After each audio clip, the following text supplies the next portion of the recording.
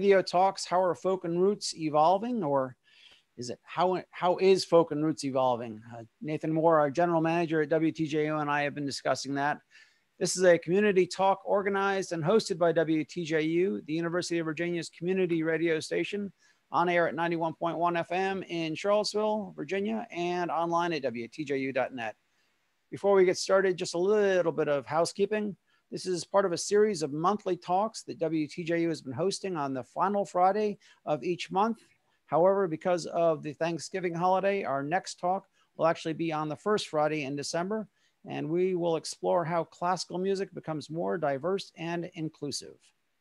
There are quite a few of us on today's Zoom call, so please keep yourself muted during the discussion if you're not part of it. If you have any questions or comments, please type those in the chat window. Our general manager and behind the scenes tech for today, Nathan, will be monitoring those throughout the hour. Well, when Nathan approached me about what we could do to talk about folk as part of this session, I had just been astounded at what I had seen so many of my Facebook friends in the music world doing, including my friends, the Wild Ponies, Doug and Telisha Williams, and we're going to hear from them in a little while about the project that they have undertaken. And then I saw Michaela Anne, one of our guests, had quote had written this on her Facebook page. We are on month eight of this global pandemic. Back in March, touring musicians rapidly saw their entire year of income just wiped out. And we still don't know when they'll get back to work or what the landscape will even look like. And yet, everywhere we look, Musicians have not stopped. They are creating, they are donating their time, music, performance, their voices, their platforms to fundraisers, campaigns, to protest, to charity, all while living with the insecurity of their current and future financial livelihood and career. And I, with that, I just had to reach out to Michaela Anne and our other guests. So let me introduce them. First of all, we've got Michaela Anne, who's an incredible singer songwriter in the country world these days, whose, mu- whose music is, uh, well, she's based out of Nashville and she's graced NPR's World Cafe and live sessions, Mountain Stage radio show, and has headlined a US and EU tour. She has been featured in the New York Times, Refinery 29, and NPR's All Things Considered. Leyla McCalla is a New York based, uh, born Haitian American living in New Orleans who sings in French, Haitian Creole, and English and plays cello, tenor banjo, and guitar deeply influenced by traditional Creole, Cajun, and Haitian music, as well as by American jazz and folk. Her music is at once earthy, elegant, soulful, and woody. It vibrates with three centuries of history, yet also feels strikingly fresh, distinctive, and contemporary. Joe Newberry, I don't know if he's got his hat on or not. I can't tell as I read this, but he's a Missouri native and North Carolina transplant who has played music most of his life. His powerful and innovative banjo playing, as well as his songwriting, guitar skills, fiddling, and singing, has delighted audiences around the world. And finally, Sam Reider, out there in California these days, is an American accordionist, pianist, composer, and educator. Originally trained as a jazz pianist, Sam has spent many years exploring and interpreting folk music from around the world on the accordion. You can catch him playing with some great jazz and bluegrass acts when he's back in New York as the Human Hands. And as I said, we're going to have a video from Doug and Telisha Williams, known as the Wild Ponies, as a way of kicking off what folk music and artists are doing to evolve and explore the world in this pandemic. So, Nathan, if you'll play that for us.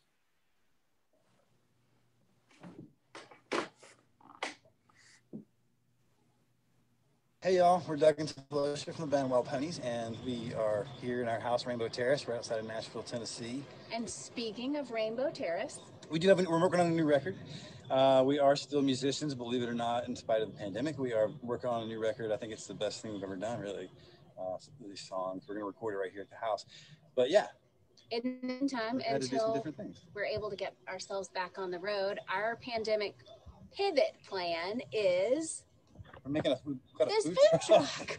it's a cool thing. It's in our backyard right now. It's the, the light's kind of shining on us. We can get over here. Uh, it's Dreamers Food Truck. Dreamers. Pizza right and bowls for creative souls. we kind of started it with our, our housemate Laura Schneider, and yeah, it's it's going to be a cool thing. We're going to be serving food around Nashville at some of the venues that are that are not having shows right now and some parking lots. And we've got this great idea. We're doing these creativity prompts. So if you show up and you order your food, we're going to give you a creativity prompt, and you can go um, write a song or a poem or make a dance or like a cocktail. We're just trying to find ways to stay engaged with our community, you know, during the pandemic and to continue to create. And so this is something that we found that we, we love and, and we're really excited about it. We love the logo. We love the way the, the truck came out. We love creating delicious food. We do. the truck, the trailer is called Red and the truck over here behind us is called Dot. And she's beautiful too.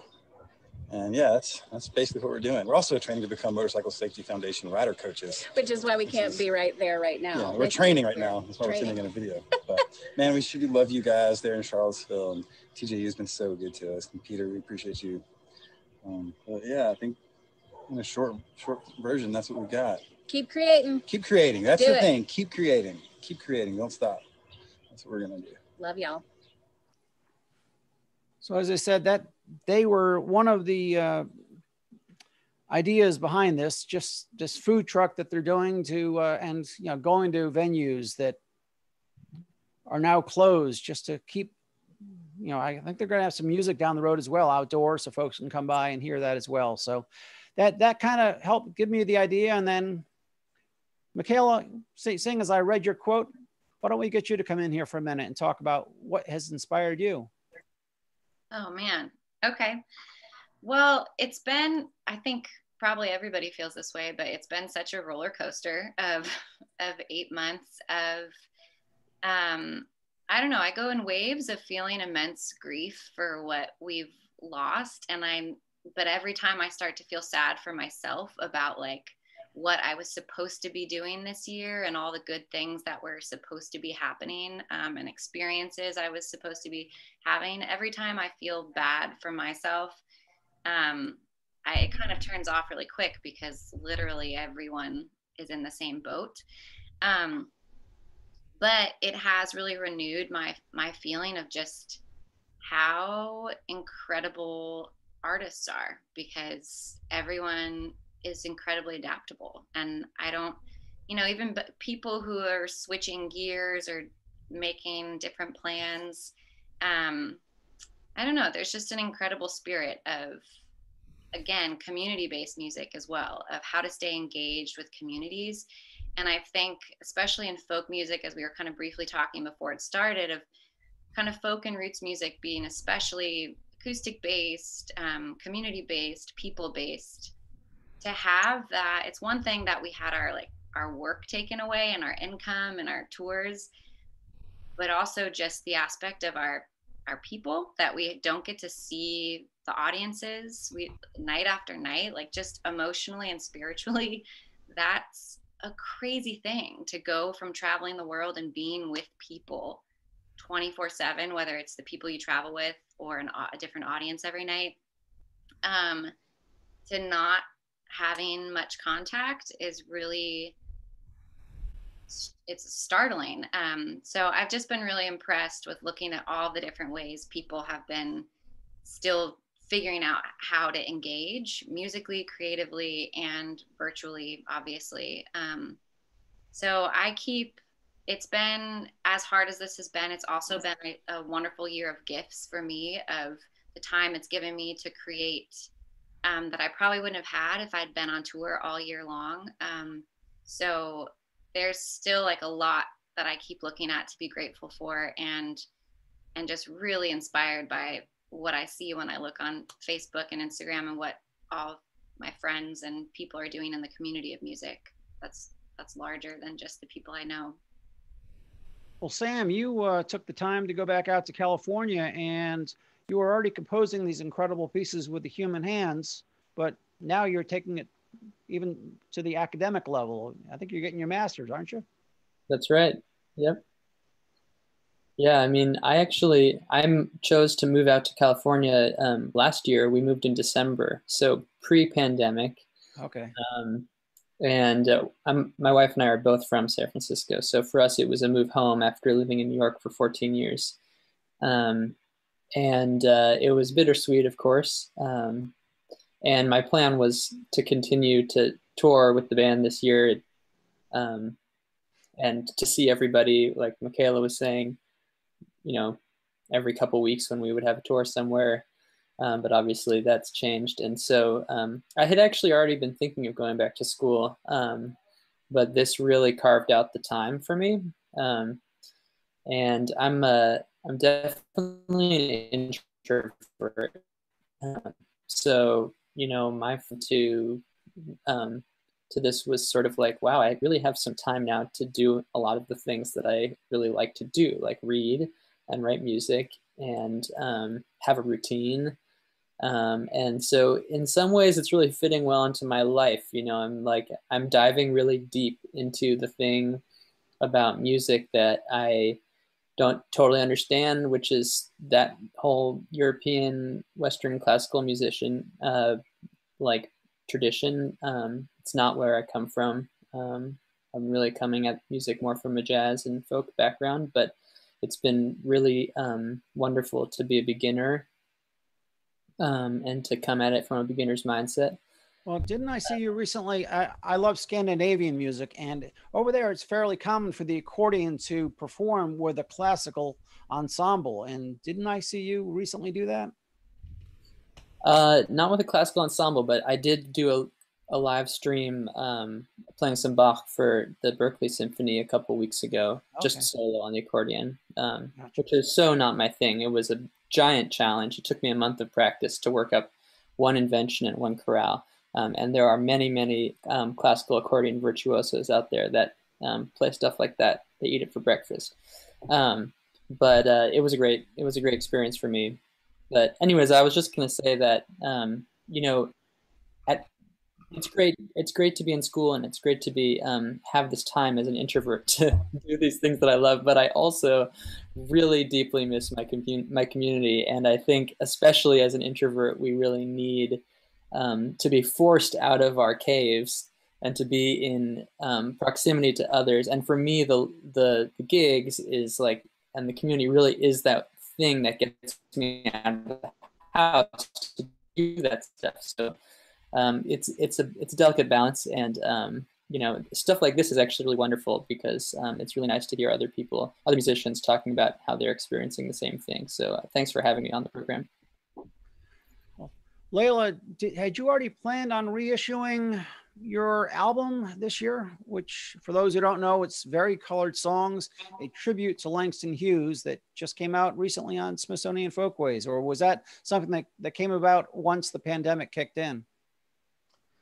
I think that it was something that was, um, I, I kind of, you know, the pandemic happening kind of blew all of my memory of what was happening pre-pandemic in terms of planning out of my mind but i i seem to recall um, that uh, we were in talks with smithsonian folkways about uh, reissuing the album. They were they've were really excited about it um, you know and it, it kind of came down to a, a business decision in, in some ways um, the um, you know just the they had the funding to be able to uh, acquire the album and it wasn't guaranteed for 2021 and you know i i really have been in talks with them for you know a couple of years. Um, and there's been interest in in having the this album that i i created that's was my first record and um, was released in tribute to Langston Hughes, be part of their African American um, collection. And and so you know, for me, it was like I I, I did a lot of sort of deliberating about whether this was the right thing, and then finally decided that yes, you know, I think it will be the right thing, and you know, and now um, it's interesting how yeah, you know, I, I always love that quote life is what happens while you're busy making other plans. That John Lennon quote, because I feel like it summarizes exactly, um, you know, how things have unfolded this year. It's just like there's been so much that we can't control, and um, and at the same time, there's been this like you know, um, mainstreamization, if I can make up a word for this, um, of the Black Lives Matter movement. And, you know, the, a lot of the issues that I'm sort of grappling with on the record are things that our society are, are still grappling with. And, um, and so for me, it's been an incredible opportunity and an honor to just uh, be able to continue to talk about these songs um, that I I always knew that they'd be relevant, but I didn't, I couldn't have planned how poignant the the timing of this album release would have been. So um, yeah, it's been um, like Michaela uh, mentioned, it's been a roller coaster and some days it's so exhausting and then other days it's, it's exhilarating. It's like okay things are actually working. This is i don't even know how this is happening but something is working. Um, and then other days it's just like oh my god i'm tired. I'm tired of the pandemic. I'm tired of you know not knowing when i can get back out on the road. I'm tired of you know not not feeling safe anywhere.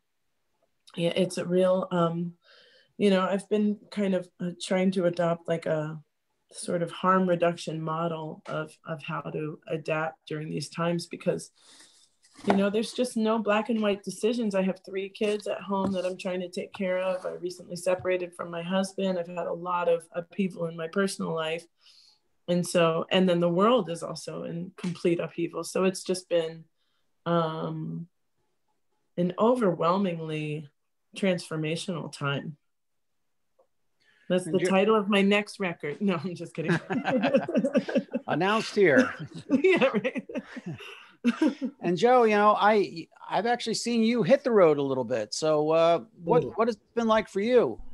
Um, I was saying before we we got started that I played, um, I, and they're probably my last shows for the year. But I played two outdoor shows, one in Charlottesville a couple of weeks ago, and then the uh, the next day down in Fort Mill, South Carolina the uh, it, the Charlottesville show was a porch show. I, I stood on the porch. Um, folks were in their little bubbles, six feet apart. Um, it it was as exciting as if I was playing Carnegie Hall. It, I just I I had missed it so much, and um, um, I I made it where um, I did everything as much as I could um, paperless and had folks wanted to do. I signed a bunch of CDs uh, pre pre signed, and if, if folks wanted a CD, they I just asked them to PayPal me, and if they if they didn't have a PayPal account, I said when you get home, send me a check, um, and uh, and we'll do it that way because I want to still live in a world where I can send somebody home with a CD and they'll send me a check later on. And, and everybody came through. It was great. I have not been um, I, you know, somebody said that Shakespeare wrote some of his greatest um, work during his plague time, and it's like, oh, thanks, thanks so much for, for no pressure there. But I, um, uh, I got off the road and I started thinking. For some reason, I thought, I don't know how long I'm going to be home. So I started thinking of Roger Miller, because he was king of the road, and so I decided that I was king of the home and so I the, my first little bit of creativity was if you if you hear Roger's um, groove in your head, my money's all but spent. I'm down to my last 50 cents. I'm on the internet. It's hard to quit, like cigarettes, but shows from my living room pay better than pushing broom. I'm a man of streams and more streams. I'm king of the home. Wow. Yeah. Oh, I, I, I mean, I had, I got had fun with it. I even, you know, my my third broadcast was sort of lame, but seen way up in Bangor, Maine. I wear pants, but I don't wear shoes. You can't see them, so what's the use? Of an old fogey sort of sound. I'm known for that the world around. So and and and I got to modulate and the whole thing, but uh, that opened the door where I could be a little creative, but mostly and I wanted to ask everybody else.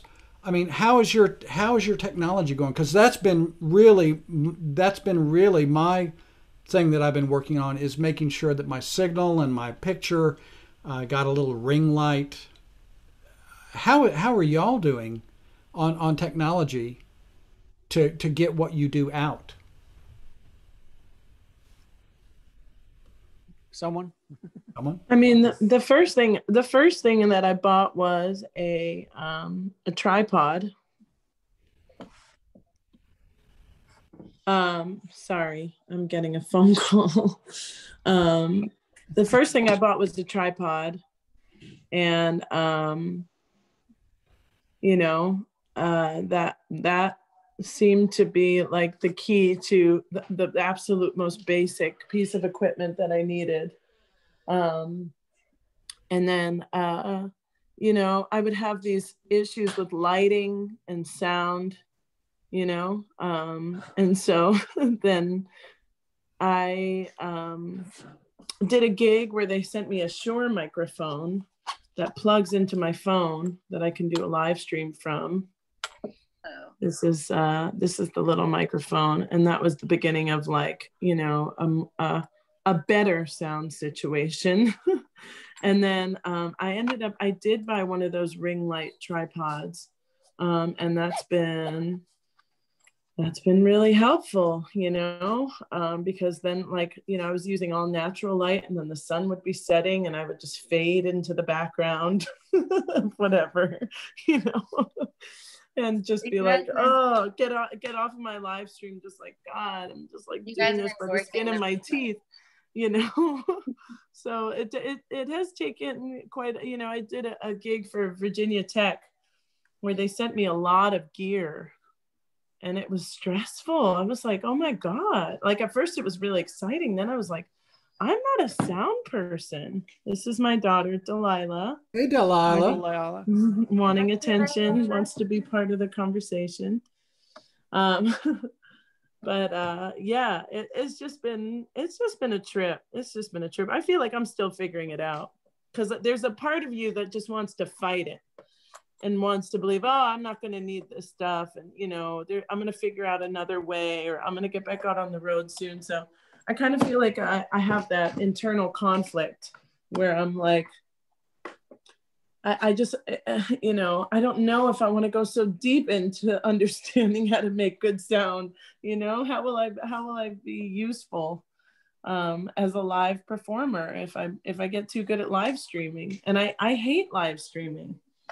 I mean, I do it, and every time I feel like sort of relieved, but the the anxiety before the show is pretty intense, you know. And I'm I'm not someone who was very shy about getting on stage. I always loved that, you know. Michaela, so, yeah, it's well, been interesting.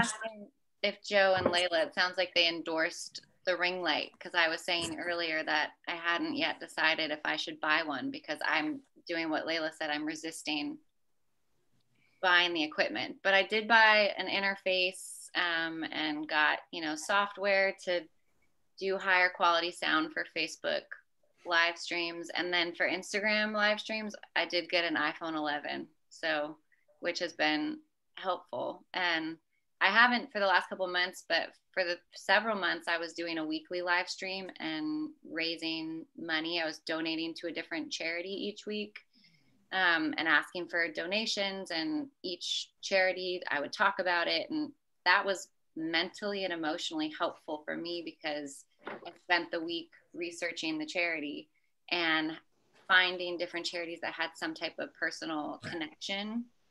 Um, and that was all kind of inspired because early on I had a, a fan of mine pass away from COVID 19 um, mm. in March, was right at the beginning.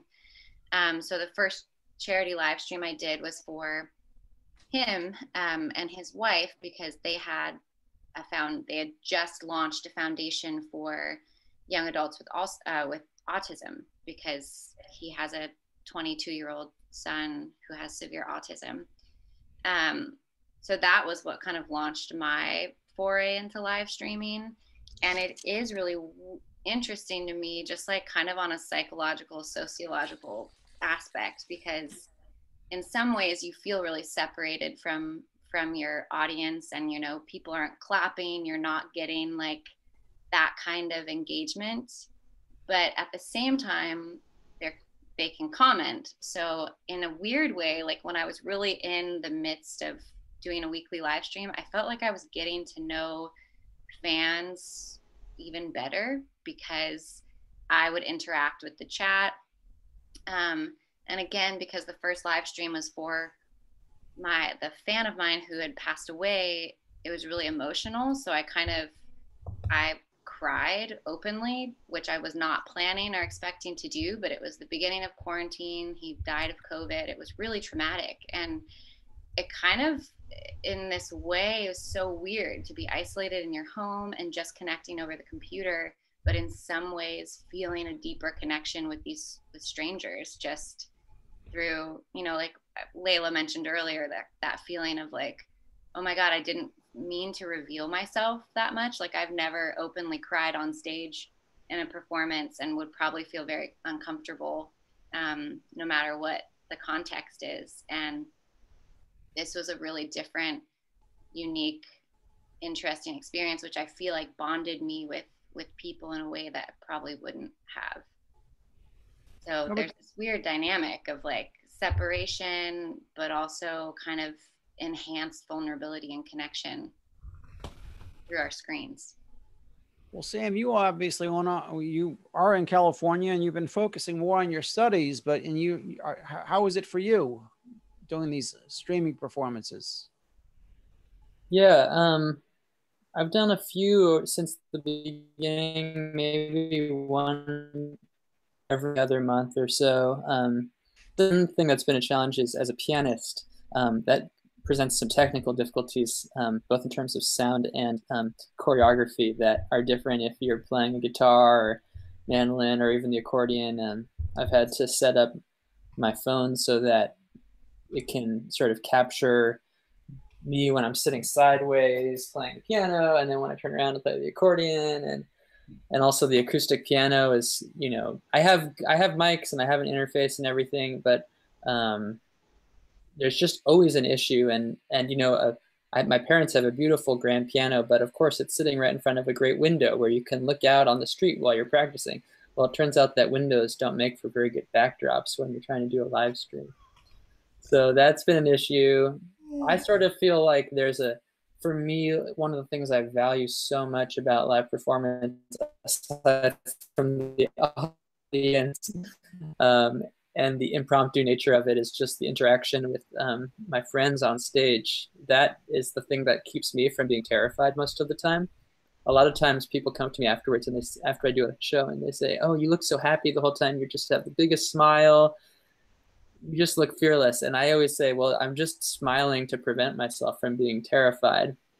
um, and definitely smiling at the other musicians on stage is usually one of the things that really gets me out of my own head and allows me to improvise freely. I, uh, I, I will say personally, having seen Sam up there on stage with his with the other acts, they all have those smiles because they, they're always watching to see what the other is going to do next. And and uh, it's it's nice to learn why you have that smile going on because yeah. for me it's just watching all of you up on stage because you each seem to be improvising as you go along you know to your composed pieces. But still it's wonderful just because you're all enjoying each other's company up there.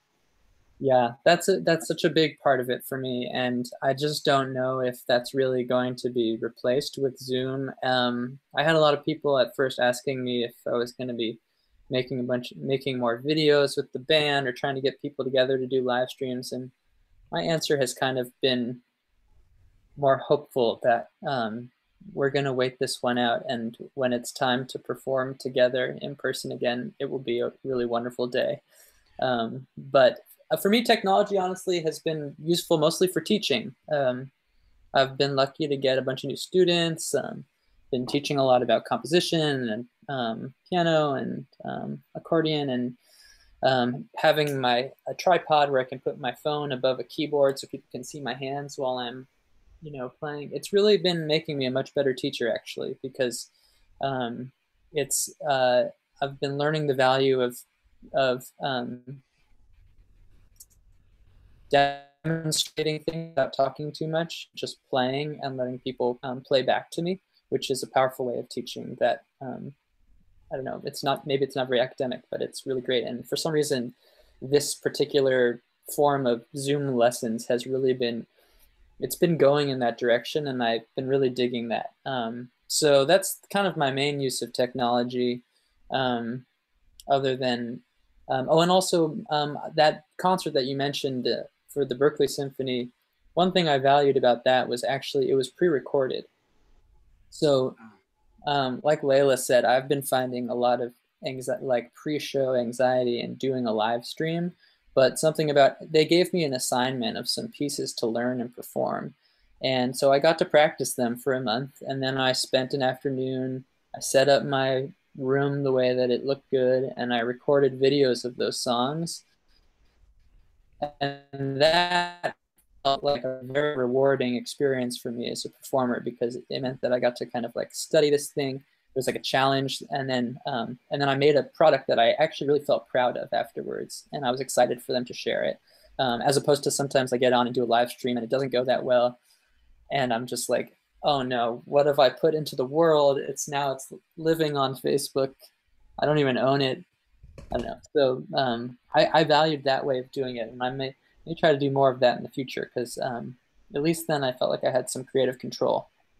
Well, I was chatting yesterday on W2J with Jerry Douglas, who's here in Charlottesville for a concert tonight, and he was saying uh, for him, he had been on the road for 50 years, and so at first he was relishing the chance to be off the road, not not he wasn't happy about the reason for it, but it allowed him to actually withdraw and re- recharge his batteries and find some new creative things he could do while he was off the road. And he's been doing a lot of recording for others in his own studio. Now, of course, you know, Jerry Douglas is Jerry Douglas, you know, 14 time Grammy winner where everyone wants to record with him. But I'm curious, have any of you taken that time to be able to? I, I know, Michaela, you, you said earlier that you're recording a new album right now, but are, are you finding new and more creative ways recording uh, during the pandemic when you're not going to an actual studio or are you are you recording at home and then sending it to the others or how does that work i've done both i've actually gone uh, it was a,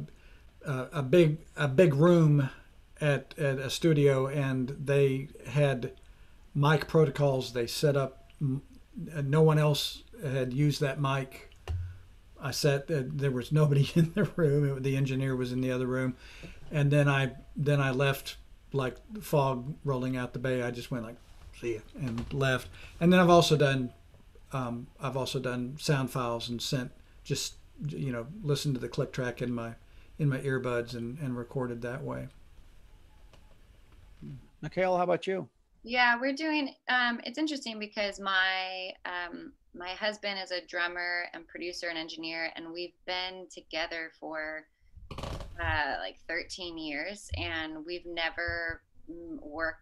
We've worked together a lot, but we've never co-produced and, and recorded and done a project together. Um, and it's I think it's taken 13 years for us to get to a place where we could do that. um, and this pandemic has really that wasn't really the plan until the pandemic hit and we were like well we have a studio in the basement like we have all the time if we get into arguments and we need to stop for the day that's fine so um, it's been a really incredible experience for us to work together and not have that pressure of man we have to get this record done in this amount of time because we have to get back on the road and we're at home and we can work through all of what it means to be a husband and a wife making music together. Um, and then we have brought in, you know, it, we had a guitarist over the other day and we're recording together. And then I, you know, I have a bass player friend in New York who flew in the parts, and I was running upstairs stairs to FaceTime with him to like talk through the song. And so we've done a mix of, we did a, the tedious like tracking in one instrument at a time, um, and then had some people fly in parts. So it's been a it's been a mix, which is is rewarding in a different way than having everybody in the room at one time playing all together. There's there's pros and cons to both, I think, but in some ways it's opened up possibilities because I'm like everybody's going from home, so I don't I can ask whoever I want to play on this. So Yep. Leyla?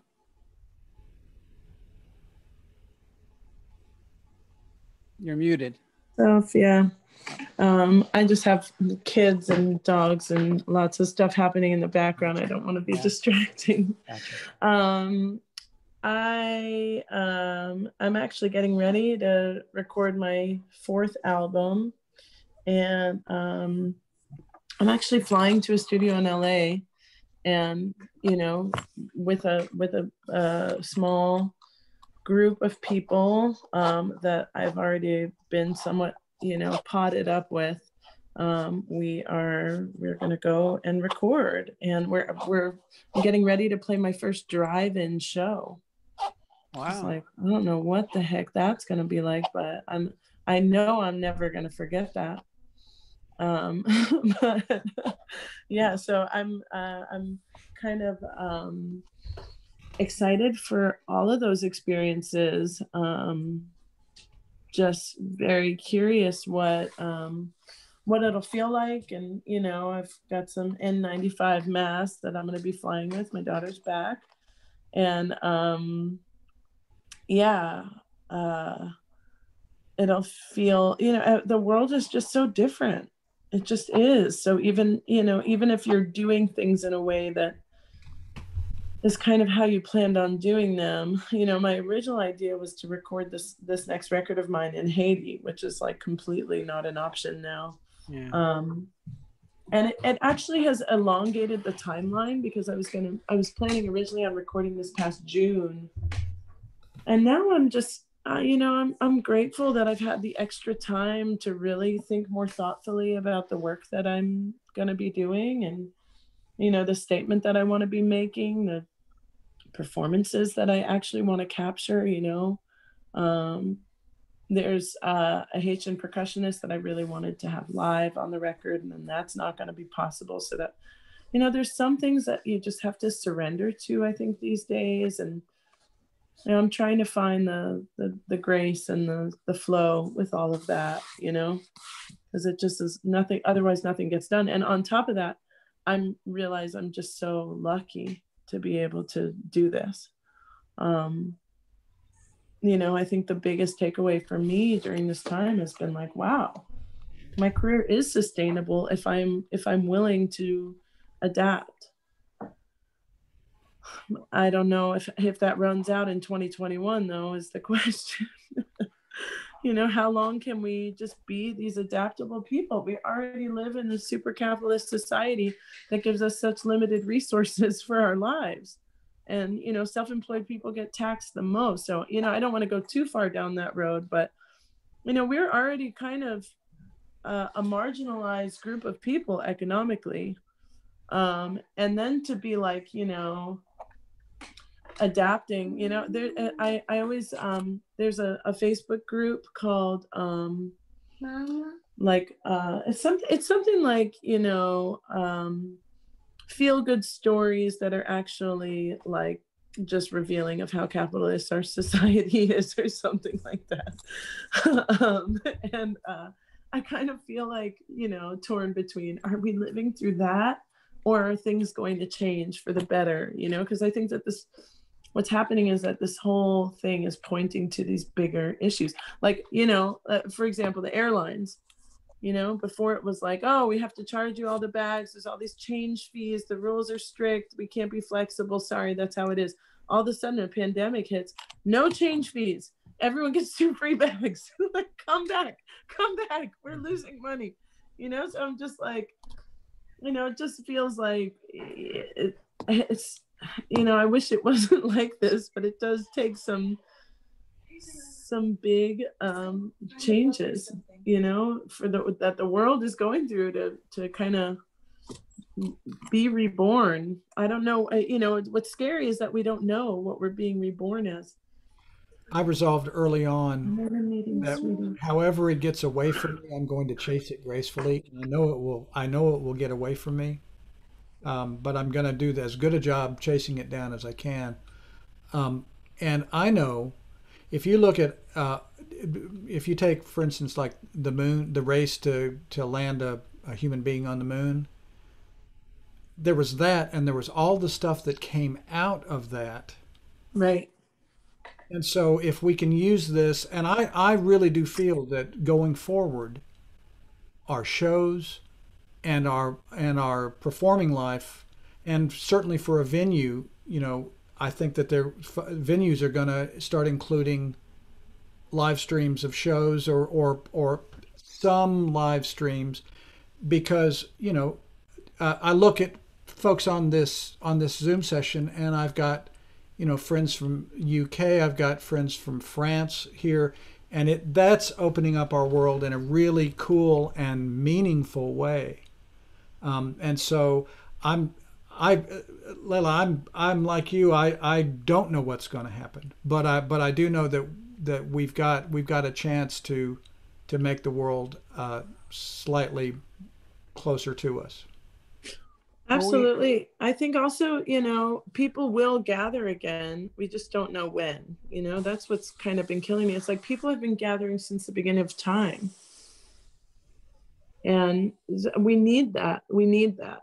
And so it's you know, I'm just like how long how long can we go without the the capacity that we're used to. Like, do we wear masks forever now? Are singers really super spreaders? you know, like all these questions. I'm just like, oh God. Well, something uh, that I've been intrigued by and impressed is as the artists have been at home, you know, in, in the folk world, of course, sharing one's political and personal beliefs has always been part of it. But you know, when you look at the roots, you know, with bluegrass and country, artists are taking the time now, and maybe they were doing it at their concerts, but they're actually expressing their their feelings online. And Ivan Rosenberg, he's another one of my inspirations, an incredible dobro player from originally from Oregon, living up in Toronto now, who has helped head up during the election, trying to get expats to get out there. And, and he's pretty much given up his musical career and he's following all these political campaigns around the United States and helping folks know where they might have a shot of improving the the, the person who's in office. And so just taking that time to be more aware of what's there and helping others become. And I've made donations to certain campaigns, and so it, has been great to see the artist, you know, like David Grisman, who, who's definitely in that bluegrass world, you know, came out and made a statement that upset a lot of folks or, uh, and folks in the country world who have just stepped out and upset a lot of their fans, but they said, Hey, you know, we're in this together and we need to talk about why it's important. Uh, Ken, uh, what's this? Uh, this young country act who came out and did this wonderful three or four minute introduction. I wish I just forgot his name. Tyler Childers. Tyler Childers, you know, and he spent the time explaining, thank you, Joe, uh, why he was making that statement. And and it, it caught on. And I so for me, it's been great to see artists be able to take that time and not just do it from concert to concert, but actually put that out there and and share. And I'm, I'm just curious how, how you all feel about that. Yeah. Yeah. Um, Michaela, you want to go? Uh, I you can go first, Leyla. I'll, I'll wait. I, I, felt like we were both. Uh, uh. um, I can feel it even through Zoom. Um, yeah, you know, I have a lot of my career. I've been talking very openly about my my political positions, and I think that what's happening is that um, we are collectively reckoning with the choices that we've made, with our own complicity in creating these um, issues that we're grappling with, you know, that our, our, our families have grappled with for generations, you know. Um, and, uh, you know, those issues that I'm speaking to are, you know, this rampant inequality that we have in our society, um, the policing of, of Black and Brown bodies, um, uh, the disappearance of um, Indigenous women, you know, the uh, unacknowledgement by our government of um, all genders. Um, I think we're having a look in the mirror and say, who are we? Who are we? You know, um, in a way that our generation has certainly not faced. And you know, I, I don't even know if um, previous generations have faced this in, in such an intense way of, uh, you know, uh, not being able to actually gather. And then, you know, and then you see actually uh, there are big protests that have happened and everyone goes and is wearing a mask and, you know, transmission rates are extremely, extremely low, negligent, you know, and then you see a political rally where you know people aren't wearing uh, basic PPE, and um, and we're seeing very high transmission rates. I mean, we even had like a mini um, mini outbreak in the in the White House. I mean, you just can't make this stuff up, um, and so we have to look at ourselves differently. We have to recognize our participation in our society in a way um, that I don't think we've had to think about. And especially as musicians, you know, we keep our our nose to the ground and just do the work. Um, and that's kind of been our MO. And now I'm realizing actually the work doesn't get done unless my community is okay, unless people are okay, unless people's basic needs are being met. You know, I, I've been horrified to see um, how hard it is for the, the city waste union here in New Orleans, the people who are collecting our garbage, how hard it is for them to fight for a fair wage and, you know, protective equipment for this, for the job that they do. Um, you know, and it's like, we, we have to support them. We have to, um, recognize the work. I remember at the beginning of the pandemic, I was literally nearly in tears every time I went to the grocery store, just like thanking the people at the checkout counter. And I found myself so emotional, like at Costco, like checking out, just like, thank you so much for being here for us. Like, I have never realized, you know, the position that you are essential. You are essential you know? And i think we've always thought of ourselves as so self-important you know? And so it's it's been a very um it's been a very humbling time. And yeah i i just keep on going back to that overwhelmingly transformational in ways that are were necessary and are necessary and will continue to be necessary. And then in other ways that are extremely heartbreaking because we just realize you know we don't live in a country that um, that values human life as much as it, we say we do. That's been really heartbreaking to me. Michaela?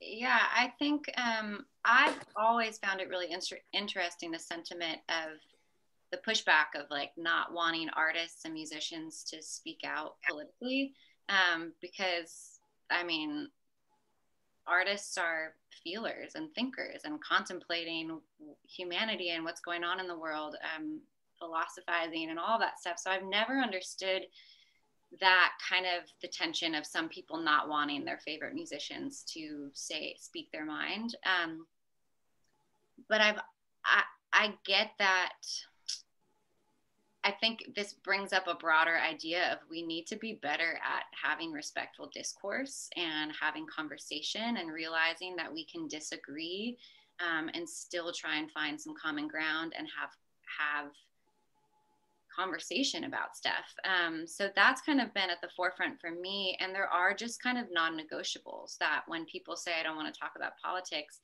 you know, Black Lives Matter and civil rights, and those aren't politics. That's being a kind person and and a just person. Um, so to me, I've kind of been sitting back watching this and thinking so much about one, how devastating it is that nothing has changed. And in a way, the pandemic has been this perfect context to, to get people who haven't been aware um, to finally see the stuff that's been going on for a long time that is not anything new um, but the resistance to me is confusing because my thought is if you're sitting back and being told by people that this is the reality for them, this is something that happens, and you don't experience it, why do you think that your reality is the truth rather than listening and saying, okay, this is what's happening? I didn't know.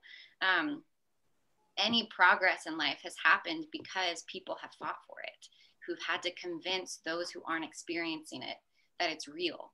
The only way that women have the right to vote, um, anything, has been because um, people have said, hey, this is messed up to the people in power who don't experience it. So I think it's just thankfully come to the forefront because people have had the space and time to become more involved and aware, even if they cared before, but maybe it's just more prevalent right now because people aren't running around and you know living our daily lives where we're so consumed and I, i've been really heartened to see living in nashville the community because I lived in New York City for a long time. And my background is I have a jazz degree from the New School. I also have a degree in sociology and studied social movements and civil rights movement.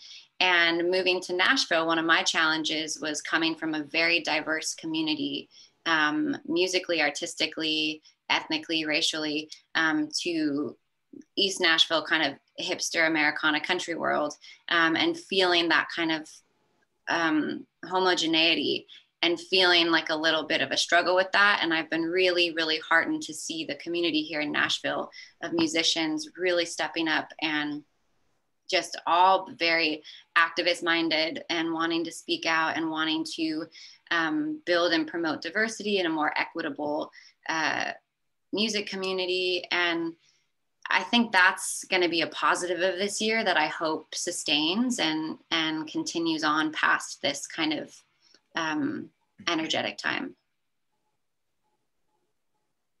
Joe, Sam? Yeah. Um,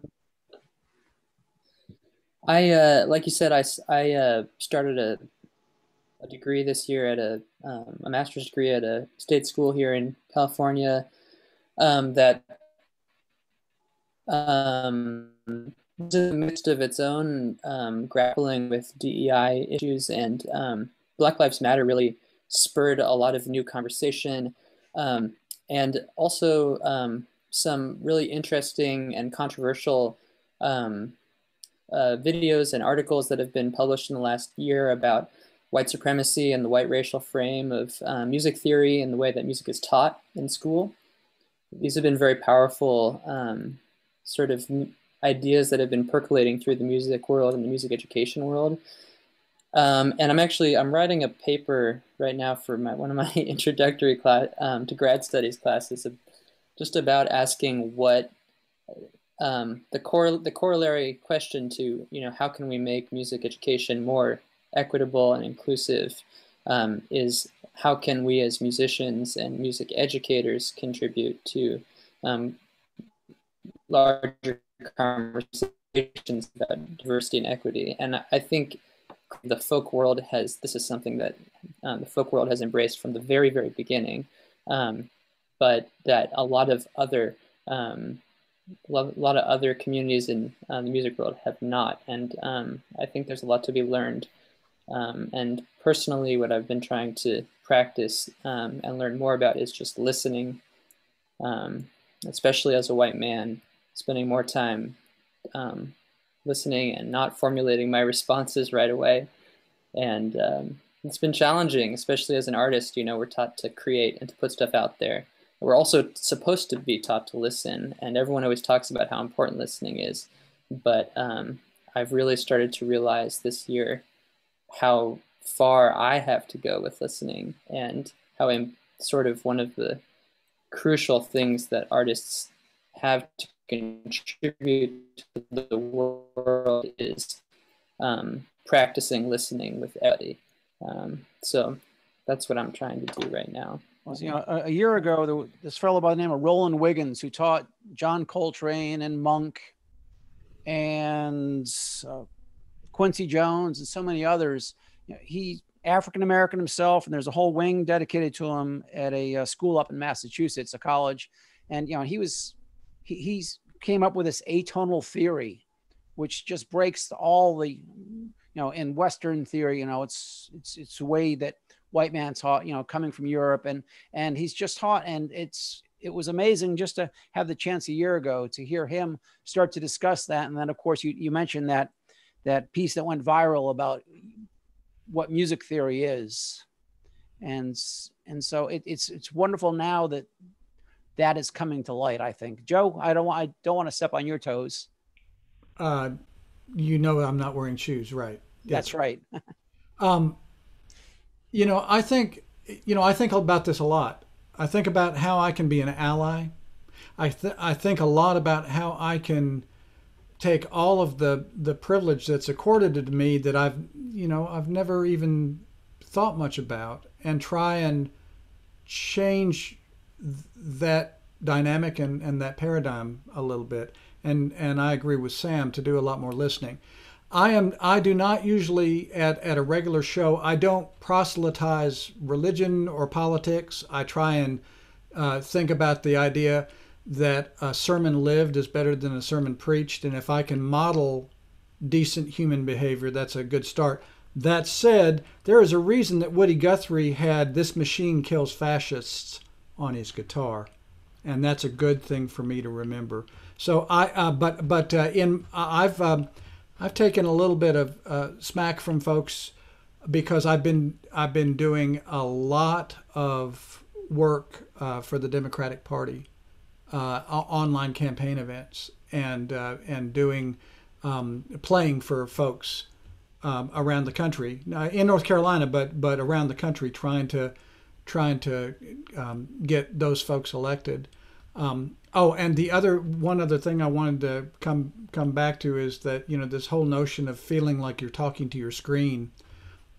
The first political event that I did the candidate left her mic open, and as I was playing, she was going, "Mm-hmm, mm-hmm," and I and and I said, "Oh yes, please keep your mic open for the rest of the show." So we had that connection. It's like, uh, and the the way that that I like doing it is having somebody watch the chat for me and then tell me. So I'm interacting with somebody, or they're sending me messages, uh, you know, when I when I'm doing requests.